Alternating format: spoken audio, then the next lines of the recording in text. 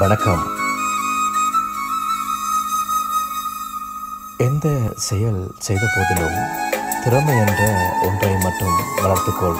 ஏனென்றால் உன்னிடம் பணம் பொருள் ஒன்றும் இல்லாமல் இருந்தால் கூட இந்த திறமை மூலம் ஜெயித்து விடலாம். வாழ்க்கையை ஒரு கை பார்த்து விடலாம்.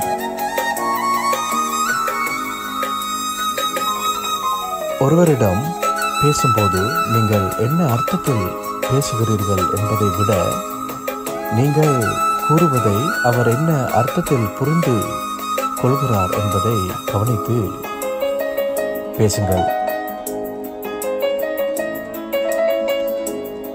உனக்கு உண்மையாக இருப்பவர்களிடம் நீயும் உண்மையாக இரு. நன்றி.